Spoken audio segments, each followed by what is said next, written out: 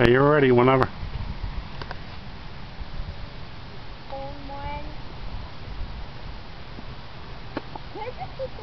Go ahead and in, Alex.